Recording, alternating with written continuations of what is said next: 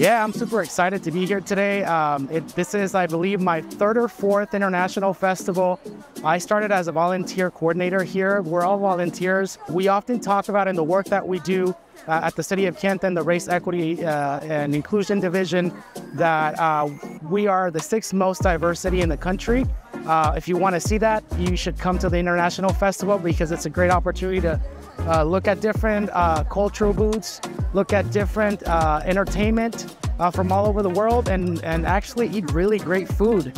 Uh, uh, the food is here is amazing, so um, I hope that next year you come by and enjoy the people, the food, and the atmosphere because it's one of the best places to, to be.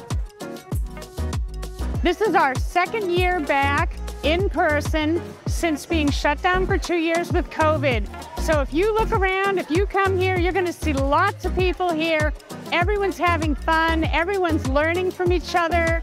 There's all different cultures here. We're having a blast. I think it's really important to have the Kent International Festival because we have so many different cultures living here. We live all amongst each other, and it's always important that we learn about other cultures so we understand each other and we create a wider, more understanding, inclusive community.